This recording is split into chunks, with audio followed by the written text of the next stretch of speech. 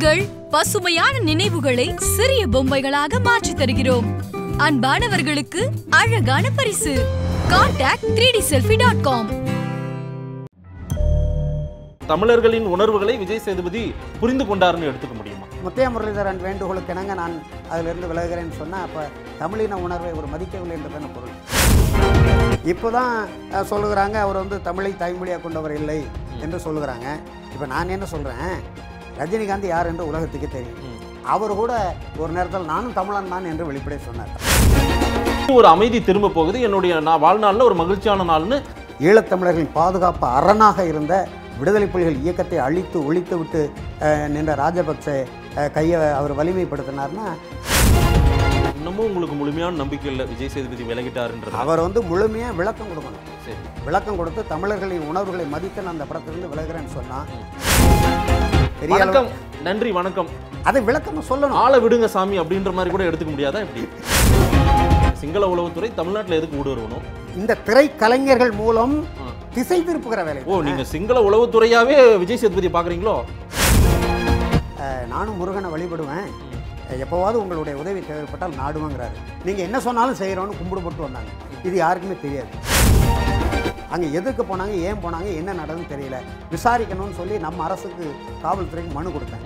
அவர் உரிய நடவடிக்கை எடுத்தார் அதுலேருந்து என்னை பாமகலேருந்து விலகிட்டாங்க. ஒரு மணி நேரத்துக்கு முன்னால் நான் விலகலைன்னு சொல்லுவதா செய்தி வருது. அடுத்து முத்தையா முரளிதரன் செய்தி வருது. அடுத்த அரை மணி நேரத்தில் மாண்புமிகு முதலமைச்சர் வீட்டில் போய் நிற்கிறாரு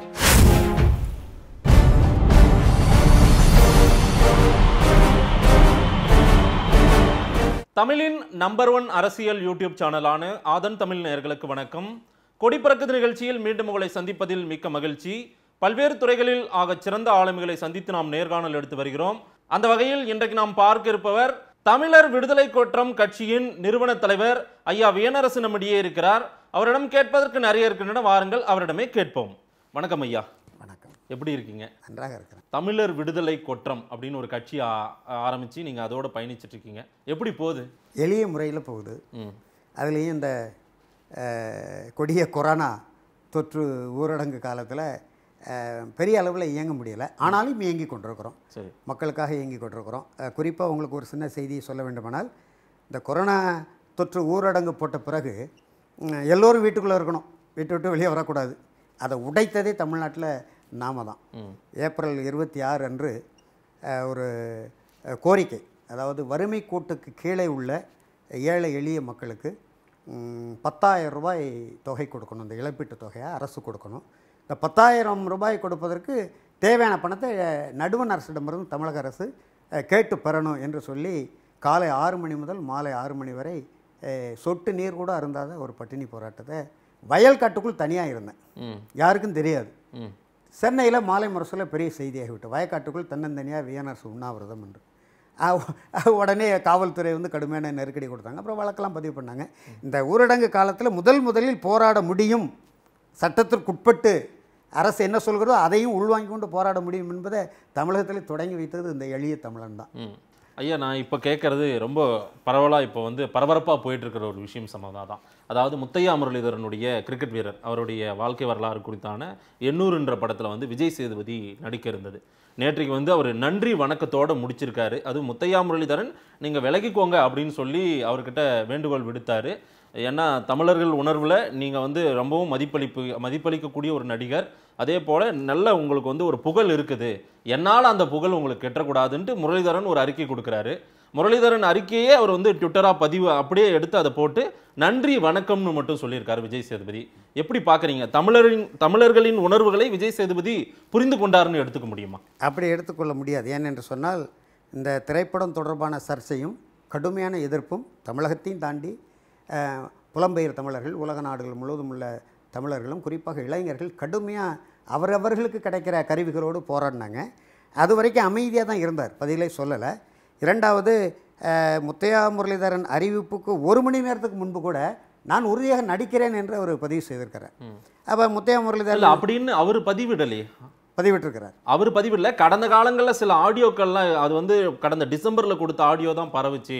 அது அவர் கொடுத்ததாக இல்லைன்றது அவங்க தரப்பினரோட ரசிகர்கள் நிறைய பேர் சொல்றாங்க. அவரே சொல்லணும்ல. அவரே சொல்லணும்ல. நேற்று மறுத்திருக்கலாம் தானே? நேற்று அவர் மறுக்கலையே. முதல்வர் வீட்டில் போய் முதல்வருடைய அம்மாவுக்கு ஒரு வணக்கம் செலுத்தினது. சரிதான். அன்று அந்த நேரத்தில் கூட அவர் சொல்லலை. ஒரு மணி நேரத்துக்கு முன்பு வந்த செய்தி என்று சொல்லப்படுகிற பிறகு சொல்லப்பட்ட பிறகு முத்தையா முரளிதரன் வேண்டுகோளுக்கு இணங்க நான் அதிலிருந்து விலகுகிறேன்னு சொன்னால் அப்போ தமிழின உணர்வை அவர் மதிக்கவில்லை என்றதான பொருள். இல்ல இது முத்தையா முரளிதரனுடைய அவருடைய அறிக்கையை போட்டதுனால முத்தையா முரளிதரனுடைய வேண்டுகோளுக்கு இணங்க தான் விஜய் சேதுபதி விலகுறாருன்றீங்களா? இல்லை முத்தையா முரளிதரன் சொன்ன பிறகு தான் அவர் விலகுறாரு. தமிழின உணர்வாளர்களின் அந்த எதிர்ப்பை வந்து நான் ஏற்றுக்கொண்டு நானும் ஒரு நல்ல தமிழ் உணர்வோடு இருக்கிறேன் தமிழ் மக்கள் பக்கம் நிற்கிறேன். எனவே மக்களுடைய இளைஞர்களுடைய கோரிக்கை ஏற்று நான் அதிலிருந்து விலகுறேன் என்று சொல்லியிருந்தால் நாகரிகம் பாராட்டலாம் நானே பொன்னாடை பொறுத்துவேன் ஆனால் முத்தையா முரளிதரன் கேட்டுக்கொண்டதற்கு என்னங்க நன்றி வணக்கம்னு சொன்னால் ஊடகவியலாளர் கேட்குறாங்க மாண்புமிகு முதலமைச்சர் வீட்டில் தெளிவாக சொல்ல வேண்டியதானே அது ஒரே சொல்ல நன்றி வணக்கம் நன்றி வணக்கம் முடிந்து போச்சு முடிந்து போச்சு. என்ன சொல்ல வர்றீங்க நீங்க? எல்லாம் முடிஞ்சிருச்சு அப்படின்ற என்ன சொல்ல வர்றீங்க நீங்க? அப்படியானால் இதுல நம்ம இப்ப ஐயப்பட வேண்டியது இருக்கு இல்ல ஒ- நீங்க ஒரு தமிழ் கலைஞர் விஜய் சேதுபதி எல்லாம் பல நேரம் நீங்களும் வந்து புகழ்ந்திருப்பீங்க பேசியிருப்பீங்க. அவர் பக்கத்துல நிக்கணும். நம்மள ஒரு கலைஞன் உருவாயிருக்கான் அப்படின்னு தான் நினைச்சிருக்கீங்க. நான் எந்த செந்தமிழன் சீமானை தவிர எந்த கலைஞர் பக்கத்தில் நின்றதில்லை. ஆனா கலையை சுவைப்போம் ரசிப்போம். சரி. அது நான் மக்கள் தலைவர் எம்ஜிஆருடைய தீவிர ரசிகன். அதுக்காக நான் அதிமுக அன்றைக்கு இல்லை. சரி. அப்படி இருந்த காலகட்டத்தில் தான் ஒரு குறிப்புக்காக சொல்கிறேன் முதல் முதலில் எழுபத்தி எட்டில் ஐசரி வேலனை அமைச்சராக்கினார். ஐசரி வேலன் ஒரு நகைச்சுவை நடிகர். அதே போல் திருச்சி சவுந்தரராஜன் அவர் ஒரு அவர் ஒரு க- கௌரவ நடிகர். இந்த ரெண்டு நடிகர்களையும் துணை அமைச்சர்களாக மக்கள் தலகமாக கோர போட்டார். அந்த நேரத்திலே அவர் மீதான ஒரு பிடிப்பு என் என் தொடர்பு சரிய தொடங்குச்சு. சரி. எனவே எந்த கலைஞர்ட்டையும் நின்ன இல்லை நான் நீங்க திரு. ரஜினிகாந்த்னா உங்களால ஏத்துக்க முடியாது. ஆனா விஜய் சேதுபதி ஏத்துப்பீங்கல்ல. ஒரு தமிழரா அவர் ஏத்துப்பீங்க. விஜய சேதுபதியே தமிழர் இல்லைன்னு அவர் தான் வந்து கொண்டிருக்க. அவர் தமிழர். ரஜினிகாந்த் விஜய் சேதுபதி தமிழரா இல்லையான்னு உங்களுக்கு சந்தேகம் இருக்கா? இல்லை இப்போ நம்ம வந்து அவர் தொடர்பான செய்திகளுக்குள்ள போக போய் தானே அதை செய்தி அதுக்கு முன்னால் நம்ம அதை பார்க்கல. நீங்க அதை விஜய் உறுதிப்படுத்தி சேதுபதி இதுவரைக்கும் தமிழன் தான் நாம் நினைத்து கொண்டிருக்கிறோம். இப்போ தான் சொல்லுகிறாங்க அவர் வந்து தமிழை தாய்மொழியாக கொண்டவர் இல்லை என்று சொல்லுகிறாங்க. இப்போ நான் என்ன சொல்கிறேன் ரஜினிகாந்த் யார் என்று உலகத்துக்கு தெரியும். அவர் கூட ஒரு நேரத்தில் நானும் தமிழன் தான் என்று வெளிப்படையாக சொன்னார். அவர் தமிழரா தமிழர்களே என்பது வேற. ஆனால் தமிழன் தான் என்று சொன்னார். இதை சேதுபதி சொல்ல வேண்டியதானே அது சொல்லலை. ரெண்டாவது உலகெங்கும் உள்ள தமிழின இளைஞர்களின் வேண்டுகோளை ஏற்று அவர்களுடைய உணர்வுகளுக்கு மதித்து நான் அந்த படத்திலிருந்து விலகிறேன் என்று சொல்லியிருந்தால் அவரை பாராட்டலாம் வாழ்த்தலாம் போற்றலாம். இந்த படத்துல இருந்து இப்ப விலகிட்டதா செய்திகள் வர்றதை உங்களால ஏத்துக்க முடியல. இன்னும் முழுமையா இன்னும் தெரியலையே. ஓ இன்னமும் விஜய் சேதுபதி முடிவா அவர் அறிவித்திருக்கிறாரா? எல்லாம் முடிஞ்சிருச்சுன்றாரு. முடிஞ்சு அது மட்டும்தானே சொல்றாரு. நன்றி வணக்கம்னு சொல்லிட்டு தெளிவா சொல்லிட்டு போக வேண்டியதானே ஒரு நொடி தெளிவாக இது எல்லாரும் அரசியல் படுத்துறீங்க ஒரு அதாவது இத இந்த கதையில வந்து அரசியலே இல்லைன்னு அந்த தயாரிப்பு நிறுவனம் சொல்லிருச்சு. முரளிதரனும் சொல்லியிருக்காரு. இதுல வந்து எந்த அரசியலும் கிடையாது. என்னுடைய வாழ்வியலை பத்தி கொடுக்குறாங்க. நான் ஒரு மலையக தமிழர் என்னுடைய என்னுடைய தக என்னுடைய தகப்பனார் வந்து வெட்டுப்பட்டிருக்காரு. அதெல்லாம் நடந்திருக்கு. அந்த காட்சிப்படுத்திருக்கலே அதுதான் இருக்கு அப்படின்னு சொல்றாரு. முத்தையா முரளிதரன் ஒரு தமிழனாக இருந்து விளையாட்டு வீரராக மட்டும் இருந்தால் நம்ம இந்த சிக்கலே இல்லை. சரி. ரெண்டாயிரத்தி ஒன்பது முள்ளிவாய்க்கால் படுகொலையின் போது அவர் என்ன சொன்னார்? யார் பக்கம் நின்னார்? கண்டிக்க கூட வேண்டாம். அமைதியாக கடந்து சென்றிருக்கலாம். ஆனால் என் வாழ்க்கையிலே மகிழ்ச்சியான நாள்னு சொன்னார். ராஜபக்சே போன்ற சிறந்த தலைவர் உலகத்திலே பார்க்கலன்னு அவர் சொல்லியிருக்காரு. நம்ம அவரை எப்படி எடுத்துக்கொள்ளும் தமிழன் தான்? இல்ல ரெண்டாயிரத்தி ஒன்பதுக்கு முன்னாடி வரைக்கும் நான் இன்னைக்கு இருக்கிறவங்க நாளைக்கு என்ன ஆகுவாங்க? என் கூடவே இருந்த நண்பர்கள் கூட என்ன ஆகுவாங்கன்னு எனக்கு தெரியாது. குண்டுகள் வெடிக்க வெடித்தன. ஆனா இனி ஒரு அமைதி திரும்ப போகுது. என்னுடைய நான் வாழ்நாள்ல ஒரு மகிழ்ச்சியான நாள்னு அந்த அடிப்படையில் எதன் அடிப்படையில் திரும்புது? இவருக்கு மகிழ்ச்சி எந்த அடிப்படையில் கிடைக்கு? ஈழத்தமிழர்களோடு பேச்சுவார்த்தை நடத்தி ஓ தனிநாடு வேண்டாம். ஒரு சுமூக உடன்பாட்டுக்கு இலங்கை அரசு வந்ததா? ஒன்றரை லட்சம் தமிழர்களை பச்சையாக படுகொலை செய்துவிட்டு ஈழத்தமிழர்களின் பாதுகாப்பு அரணாக இருந்த விடுதலை புலிகள் இயக்கத்தை அழித்து ஒழித்து விட்டு நின்ற ராஜபக்சே கையை அவர் வலிமைப்படுத்தினார்னா அதை நம்ம எப்படி பார்க்க முடியும்? மலையக தமிழர் என்பதை விட முரளிதரனே பக்கத்துல நின்ன மாதிரி நம்ம சொல்றோம்ல. அவர் அப்படி நிற்கிறது அவர் தான் சொன்னார் ராஜபக்சே போல சிறந்த தலைவர் நான் பார்க்கலன்னா என்ன அர்த்தம்? முள்ளிவாய்க்கால் இனப்படுகொலைக்கு பிறகு எனக்கு மகிழ்ச்சியான நாள் அப்படின்னு சொன்னார். ரெண்டாயிரத்தி ஒன்பது மே பதினெட்டு எனக்கு மகிழ்ச்சியான நாள்னா மகிழ்ச்சி. எந்த தமிழன் இப்படி சொல்ல முடியுமா? அவர் மலையக தமிழர் என்பதையும் தாண்டி நான் சொல்கிறேன் இந்திய வம்சாவளி தமிழர். அவர் யார் பக்கம் நிற்கணும் இந்திய வம்சாவளி தலைவர்கள் ஒப்பற்ற தலைவராக இருந்தார் மறைந்த தொண்டமான். அவர் தமிழீழத்தை ஏற்கலை. ஆனால் தமிழர்கள் பக்கம் நின்றாரா இல்லையா? சரி. தமிழர்களுடைய நியாயத்தை அவருக்கு கிடைத்த வாய்ப்பை பயன்படுத்தி சிங்கள அரசுக்கு எடுத்து ஒருவேளை தனக்கு அடையாளம் கொடுத்தது இலங்கை அதே போல ஸ்ரீலங்கனா தன்னை அடையாளப்படுத்திக்கிட்டாங்க. அந்த அத்தனை சிங்களர்கள் விளையாடும் போது ஒரு தமிழரா விளையாடும் போது பிரபாகரனே அவர் நம்ம பிள்ளை ஒருத்தர் விளையாடட்டும் அப்படி அதை யாரும் எதிர்க்காதீங்கன்னு சொல்லியிருக்காருல்ல. எதிர்க்காங்கன்னு சொல்லியிருக்காரு. இவர் அந்த விளையாட்டோடு நிறுத்தி கொள்ளணும் அரசியலை சொல்லக்கூடாது இல்லையா? அரசியலில் அந்த அடிப்படையில் ராஜபக்சேவை பாராட்டினதா கூட நம்ம அது எடுத்து எப்படி நம்ம எடுக்க முடியும்? அது எப்படி தமிழர்கள் ஏற்றுக்கொள்ள முடியும்? நீங்கள் ஒரு விலை எத்- இப்போ தமிழ்நாட்டில் எத்தனையோ நடிகர் இருக்கிறாங்க எத்தனையோ கதைகள் வருது. எல்லாவற்றையுமே நாங்கள் வேலை மெனக்கிட்டு எதிர்த்து கொண்டிருக்கிறோம். இப்போ நடிகர் ரஜினிகாந்தோட எல்லா படத்தையும் நம்ம சுவைத்தோமா இல்லையா? அவர் அரசியலுக்கு வரும்போது தானே சிக்கல் வருது. எனவே இது அரசியல் படுத்தப்படுகிறது அவர் அரசியலில் கருத்து சொன்னால் இப்போ ஒன்றும் இல்லை. முத்தையா முரளிதரன் வேடத்தில் நடிக்கிறார் நம்ம தம்பி விஜய் சேதுபதி. அவர் ஒரு ஆடை போட்டிருக்கிறார். ஆடையில் சிங்கள கொடி இருக்குது இதே நம்முடைய பச்சை தமிழன் இயக்குனர் பாரதி ராஜாவும் சிங்கள கொடி என்கிற ஒரு விருது வாங்கினார். அமீரும் போய் வாங்கினார். நம்ம கண்டிச்சமா இல்லையா? அவர் கொழும்புல அந்த நிகழ்ச்சி நடக்கு. நான் தவிர்க்க முடியல. என்ன இருந்தாலும் அந்த கொடியின்களை நீங்கள் அந்த விருது எனக்கு தேவையில்லை என்று சொல்லி கடந்து சென்றிருக்கலாம் தானே? எனவே தமிழனாக இருந்தாலும் சரிதான் யாராக இருந்தாலும் சரிதான். இன்னும் எதிரி செய்ய வேண்டிய வேலையை இனத்தவணை செய்தால் அது எப்படி நம்ம எதிர்க்காம இருக்கோம் இன்னமும் உங்களுக்கு முழுமையான நம்பிக்கை இல்லை விஜய் சேதுபதி விலகிட்டாருன்றது. அவர் வந்து முழுமையாக விளக்கம் கொடுக்கணும். சரி. விளக்கம் கொடுத்து தமிழர்களின் உணர்வுகளை மதித்து நான் அந்த படத்திலிருந்து விலகிறேன்னு சொன்னால் நானே போய் பாராட்டுறேன் அவரை. இல்ல என்னால ஒரு விவாத பொருள் ஆயிடுச்சு கடந்த ஒரு வாரமா. அதுக்கு ஒரு முற்றுப்புள்ளி நன்றி வணக்கம் முடிச்சிட்டேங்க. அப்படின்ற ஒரு முடிவுக்கு ஏன் வரமாட்டேன்றீங்க? இந்த விவாதத்துக்கே ஏன் அவர் வழிவகுக்கிறாரு? அவர் இந்த விவாதத்துக்கு அதுதான் இதை வச்சு இன்னும் ரெண்டு நாளைக்கு இது வந்து ஒரு இதை ஒரு விவாதமா எடுத்துருவாங்கன்றதுனால தான் விளக்கத்தை பெருசா கொடுப்பாங்க சிம்பிளா முடிச்சிருக்காரு. வணக்கம். நன்றி வணக்கம். அதை விளக்கமாக சொல்லணும். ஆளை விடுங்க சாமி அப்படின்ற மாதிரி கூட எடுத்துக்க முடியாதா இப்படி? இல்லை அப்படி இல்லை. அவர் ஒரு தமிழ் உலகம் முழுவதும் இருக்கக்கூடிய தமிழர்களின் உணர்வுகளுக்கு மதிப்பளித்து நான் அந்த படத்திலிருந்து விலகுகிறேன். நான் தமிழர் பக்கம் நிற்கிறேன்னு சொல்லியிருந்தா அவரை நம்ம வந்து பொன்னாடை பொறுத்தலாம் பாராட்டலாம் வாழ்த்தலாம். எல்லாமே செய்யலாம். இப்பவும் அவரை நடிக்க வேண்டாம்னு நம்ம சொல்லலை. சென்னையில் வாழ வேண்டாம்னு எல்லாம் சொல்லலை. அவரு நான் அவருடைய தொழிலை பார்க்கட்டும் சிறந்த படங்கள் நடிக்கட்டும் நம்மளும் பார்ப்போம் பாராட்டுவோம் வாழ்த்துவோம். இப்போ ரெண்டாயிரத்தி பதினெட்டு இதே சேப்பாக்கத்தில் மட்டைப்பந்து போட்டி நடந்து உலகளாவிய அளவில். காவிரி சிக்கல் அன்றைக்கு பெரிய அளவில் இருந்துச்சு. ஏன் நாங்கள் அதை போய் நாங்கள் மறித்து போராடினோம்? சீமான் எத்தனாயிரம் பேரோட நாம் தமிழர் கட்சி அதை போராடிச்சு தமிழக வாழ்வுரிமை கட்சி போராடிச்சு. நம்முடைய இயக்குனர் அண்ணன் பாரதி ராஜாவே அந்த களத்தில் நின்னாரு. இதுக்கு இது விளையாட்டு தானே? விளையாட்டுக்கும் காவிரிக்கு என்ன சிக்கல்? சரி. அதாவது அந்த சிக்கலை மக்கள்கிட்ட கொண்டு போகிறதுக்கும் அரசனுடைய கவனத்தை ஈர்க்கிறதுக்கு தான் நம்ம செய்கிறோம். சரி. அதுபோல் இவர் விஜய் சேதுபதி வந்து அவர் முத்தையா முரளிதரன் அரசியல் கலக்காமல் ஒரு விளையாட்டு வீரராக தான் நானே பாராட்டுவேன். தமிழன் பெருமை கொள்வோம். உலகளவிய களத்தில் நின்று அவர் வந்து விருது பெற்றிருக்கிறாருன்னு. அவர் சிங்களர் பக்கம் நிற்கும்போது அவர் எப்படி நான் என் உடன்பரப்பாக ஏற்க முடியும்? வம்சாவளி இந்திய தமிழரா இருக்கக்கூடியவர் வந்து திரு முரளிதரன். ஆனா முரளிதரனை எதிர்ப்பது போல விஜய் சேதுபதியும் எதிர்க்கிற துணி தானே நிறைய. அவர் தோற்றத்தில் இவர் நடிக்கிறதுனால தான் நம்ம அதை எதிர்க்கிறோம். முத்தையா முரளிதரன் தோற்றத்தில் சிங்கள கொடி போட்ட உள்ளொட்டி போட்டுக்கொண்டு அவர் நடிக்கும்போது தான் நம்ம எதிர்க்கிறோம் அவர் வேற எத்தனை படம் நடிச்சிருக்கிறாரு பார்த்துருக்குறோம் பாராட்டியிருக்கிறோம் இல்லையா அதுபோல் இவர் பொழுதுபோக்குக்காக அல்லது முற்போக்கு கருத்துக்களை இப்போ முற்போக்கு கருத்தெல்லாம் நிறைய சொல்லியிருக்காருன்னு சொல்கிறாங்க அதை நம்ம வரவேற்கத்தானே செய்கிறோம் சரி. அதை எதிர்க்கலையே ஒரு சினிமா படத்துல விஜய் சேதுபதி அப்படி நடிக்கிறதுனாலே இது வந்து அவரும் சிங்களவர்களுக்கு துணை போயிடுவாருன்னு நம்ம எப்படி எடுத்துக்க முடியும்? இல்லை நாம் அதை அப்படி பார்க்க முடியாது. சிங்கள உளவுத்துறை எப்படி வேண்டுமானாலும் ஊடுருவும். இந்த தமிழீழ விடுதலை உணர்வுக்கு ஆதரவான நிலை இன்றைக்கும் கொதி நிலையில் இருக்கு பாருங்க. சரி. பத்தாண்டு முடிந்த பிறகு உளவுத்துறை தமிழ்நாட்டுல ஊடுருவுது ஊடுருவோம். இப்போ இப்போ உங்களுக்கு தே இப்போ கர்நாடக கர்நாடகத்தில் தானே இந்த போதைப் பொருள் கடத்தல் சரி. அது சின்னத்திரை கலைஞர்கள் தானே? அதுபோல தமிழ்நாட்டில் ஈழத்தில் இன்றைக்கு ஒரு அமைதி இருக்கு. ஏனென்று சொன்னால் அங்கே போர் முடிவுக்கு வந்தது. மக்களை பாதுகாக்கக்கூடிய பாதுகாப்பு அரண் இயக்கம் அங்கே இல்லை. எனவே இன்றைக்கு சிங்களவர்கள் த- தலைமையின் கீழே அமைதியே போயிட்டு கொண்டிருக்கிறாங்க. ஆனால் உலகெங்கும் இருக்கக்கூடிய தமிழர்கள் நடுவே தமிழீழ கனவு இன்னும் தொலைந்து போகலை. அது தொலைக்கவும் முடியாது.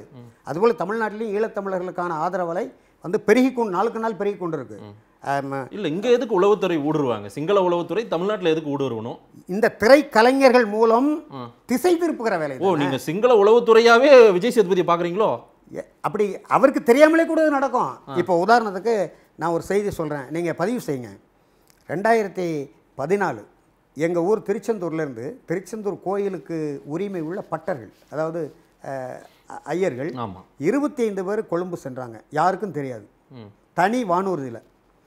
அங்கே போய் ஒரு நிகழ்ச்சியில் பங்கெடுத்துட்டு இன்னும் சொல்லப்போனால் ஒரு யாகத்தில் அவங்க நடத்திட்டு ராஜபக்சே சந்திக்கிறாங்க. அதே நிகழ்ச்சியில். ராஜபக்சே குடும்பம் தொடர்பான நிகழ்ச்சியில். அப்போ ராஜபக்சே கேட்குறாரு உங்களுக்கு நான் எதுவும் உதவி செய்யணுமான்னு கேட்குறாரு எங்களுக்கு வந்து இலங்கை முழுவதும் சுற்றுலா தலங்களை பார்க்கறதுக்கு எங்களுக்கு ஏற்பாடு பண்ணி கொடுங்கன்னு சொல்கிறாரு உடனே ஏற்பாடு செய்து ஒவ்வொருவருக்கும் இருபத்தையாயிரரூவா பணமும் கொடுக்குறாரு. பணம் கொடுத்துட்டு சொல்கிறாரு நானும் முருகனை வழிபடுவேன். எப்போவாவது உங்களுடைய உதவி தேவைப்பட்டால் நாடுவேங்கிறாரு. நீங்கள் என்ன சொன்னாலும் செய்கிறோன்னு கும்பிடுபட்டு வந்தாங்க. இது யாருக்குமே தெரியாது. ஒரு மாதம் கழித்து என்னுடைய கவனத்துக்கு வந்தது. நானும் பல ஊடகங்களை சொன்னேன் யாருமே ஏற்கலை. கடைசியில் ஜூனியர் ஊடகங்களில் அட்டைப்படத்தில் செய்தி ஆயிட்டு. நான் எப்படி செய்தி ஆச்சுன்னா காவல்துறை துணைத் தலைவர் சந்தித்து பத்து அமைப்புகளோடு போய் இப்படி இருபத்தைந்து பட்டர்கள் இலங்கை போயிருக்கிறாங்க ராஜபக்சே சந்திச்சிருக்கிறாங்க. அங்கே எதற்கு போனாங்க ஏன் போனாங்க என்ன நடந்துன்னு தெரியல. விசாரிக்கணும்னு சொல்லி நம்ம அரசுக்கு காவல்துறைக்கு மனு கொடுத்தேன். அவர் உரிய நடவடிக்கை எடுத்துட்டார். நடவடிக்கை எடுத்து காவல்துறை உளவுத்துறை போய் விசாரிச்சதுல சிக்கலாகி போச்சு. அதுலேருந்தே என்னை பாமகலேருந்து விலகிட்டாங்க. இந்த செய்தி வந்ததுனால. அன்புமணிக்கு அது பிடிக்கல. சரி. அன்புமணி ராமதாஸ் அடுத்த ஒரு பதினைந்து நாளில் அங்கே ஒரு யாகம் நடத்த வர்றாரு முதலமைச்சர் பதவிக்காக. எங்க? திருச்செந்தூருக்கு. சரி. உடனே இந்த பட்டர்கள்லாம் அவர்கிட்ட முறை உங்களுக்கு யாகமே நடத்த மாட்டோம். இந்த வேணார் சாலால் நாங்கள் படாத பாடுபட்டு போயிட்டோம். காவல்துறை எங்களை தூங்க விடலை. முதல்ல அவர் கட்சியை விட்டு நிற்குங்க அப்புறம் யாகம் நடத்துவோன்ட்டாங்க பத்து நாளில் நான் கட்சியை விட்டு நீக்கப்படுறேன். ஓ அந்த பிரச்சனையினால பாமகவிலேருந்தே உங்களை நீக்கிட்டாங்க. ஏற்கனவே இந்த கூட்டணியில் எனக்கு முரண்பாடு இருந்தது. சரி. இருந்தாலும் தேர்தலுக்கு முன்பு விலகணும்னா என் மீது அவர்கள் இல்லாததும் பொல்லாதையும் சொல்வதற்கு வாய்ப்பு உண்டு. வேலைக்கு போய் விட்டார் அங்கே காசு வாங்கி விட்டார் இங்கே காசு வாங்கி விட்டார் என்று சொல்வதற்கு வாய்ப்பு உண்டு. அந்த வாய்ப்பை தவிர்க்கிறதுக்காக நான் தேர்தலில் அவங்க சொன்ன வேலையை செஞ்சேன். மனச்சான்றுக்கு விரோதமாக தேமுதிகாக என் தொகுதியில் வேலை செஞ்சேன். ஏன்னா தேர்தல் பணிக்குழு தலைவரை என்னை போட்டுட்டாரு பாமக தலைவர் கோகா மணி. தேர்தல் முடிந்த உடனே இந்த சிக்கல் வந்தது. நானே விலகுவதா இருந்தேன். அதற்குள்ள அவங்க முந்திக்கிட்டு விலகிட்டாங்க. இந்த சிக்கல். அதுபோல பட்டர்களிடமே உதவி கேட்ட ராஜபக்சே கலைத்துறையில இப்ப சிங்கள நடிகை வந்துங்க நடிக்கலையா? சரி. என் தம்பி செந்தமலன் சீமான் தானே கூட்டிட்டு வந்தான்னு சொல்லுவாங்க. யாரோ ஒரு அசீனா ஒரு நடிகை. சரி. ஒரு சிங்கள நடிகை வந்து ஏதோ படத்தில் நடிக்க வச்சாருன்னு. அதுபோல் ஊடு வருவதற்கு வாய்ப்பு இருக்கு. நான் சந்தேகப்படுறேன். என்னுடைய அரசு தமிழ்நாடு அரசு என்னுடைய காவல்துறையை ஆய்வு செய்து கண்டறிந்து நாட்டு மக்களுக்கு உண்மையை சொல்லணும் நடவடிக்கை எடுக்கணும். ஸோ ராஜபக்சேவின் பார்வை இந்த பக்கம் தமிழ்நாட்டு பக்கமும் திரும்ப ஆரம்பிச்சிருக்குன்றீங்க. அது அப்பவே திரும்பி விட்டது இங்க உள்ள இந்த தமிழீழ விடுதலை ஆதரவு உணர்வுகளை போராட்டங்களை மழுங்கடிப்பதற்கு திசை திருப்புவதற்கு ராஜபக்சே என்ன வேணாலும் செய்வார். அவங்க உளவுத்துறை என்ன வேணாலும் செய்வார். அதை கண்காணிக்க வேண்டியது நம்முடைய தமிழக அரசு இந்திய அரசு தமிழக உளவுத்துறை எப்படி எப்படி தமிழீழ விடுதலை ஆதரவாளர்கள் நீங்கள் கண்காணிக்கிறீங்க இல்லையா? சரி. உளவுத்துறை கியூ பிரான்ச்சுன்னு அதுக்கு பேர். கியூ பிரான்ச் வந்து எங்களை கண்காணிக்கல.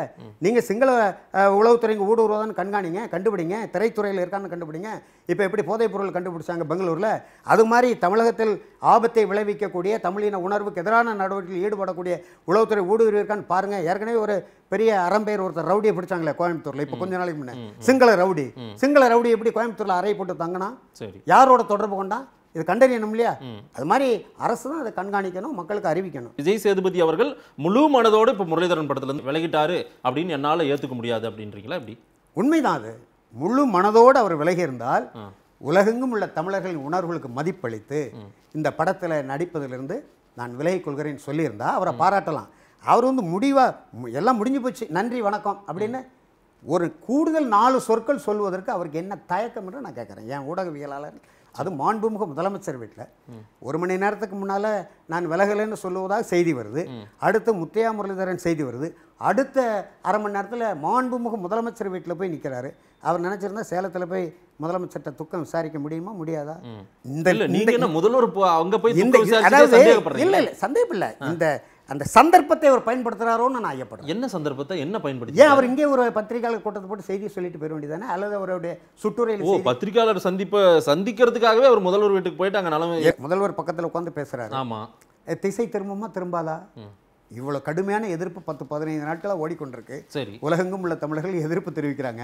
இவர் முதல்வர் பக்கத்துல இருந்து அந்த செய்தி வரும்போது இந்த செய்தி திசை திரும்புமா தெரியாதா? எனவே திட்டமிட்டு தான் அவர் அவர் ஒரு நல்ல மனதோட ஆறுதல் சொல்ல போயிருந்தால் கூட இந்த மாதிரி நல்ல மனதோடு அவர் சேலத்துக்கு போயிருந்தா போயிருந்திருக்கணும். தந்தை பெரியார் பெருந்தலைவர் காமராஜர் பேரறிஞர் அண்ணா முதறிஞர் ராஜாஜி பெரிய தலைவர்கள் நான் மதிப்போட தான் சொல்லுவேன். ஆயிரம் விமர்சனங்கள் இருந்தாலும். அவங்க காலத்தில் இருந்த அரசியல் பண்பு நாகரிகம் ஐயா கலைஞர் ஆட்சியிலையோ ஜெயலலிதா ஆட்சியிலையோ இல்லை. எம்ஜிஆர் கலைஞர் ஆட்சியில் கொஞ்சம் இருந்தது. ஏன்னா முதல் முதல்ல மக்கள் திலகம் மாக்கோரா முதலமைச்சர் பதவி ஏற்று சுதந்திர நாளில் கொடியேற்றும் போது ஐயா கலைஞரே அவர் பின்னால் நின்னார். அதுக்கு பிறகு அந்த காட்சி நாங்கள் காண முடியல. ஆனால் இன்றைக்கு கலைஞருடைய இறப்பிலையும் அதிமுக அமைச்சர்கள் வந்து வணக்கம் செலுத்துவது நேற்று போய் எதிர்க்கட்சி தலைவர் மு க ஸ்டாலின் போய் துக்கம் விசாரித்தது ஆரோக்கியமான அரசியல் நாகரிகமான அரசியல் பண்பாடான அரசியல் இதை நம்ம வரவேற்கிறோம். அது மாதிரி அங்கே போய் பார்த்துருக்கோம் நேற்று தான் பா என் நாளை கூட பார்க்கலாம். செய்தி அறிவித்து விட்டு போய் பார்க்கலாம். செய்தி அறிவித்து விட்டு ஒரு முதலமைச்சர் வீட்டுக்கு போய் இந்த வினாவே எழுந்திருக்காத. சரி. மிக்க நன்றி வேணரசு ஐயா. நிறைய வரலாற்று தகவலை சொல்லியிருக்கீங்க. இதை அப்படியே மக்கள்கிட்ட கொண்டு போய் கொடுப்போம். நன்றிங்க ஐயா. நன்றி வணக்கம். நன்றி நேயர்களே மீண்டும் ஒரு குடிப்பறக்குது நிகழ்ச்சியில் சந்திப்போம். நன்றி வணக்கம்.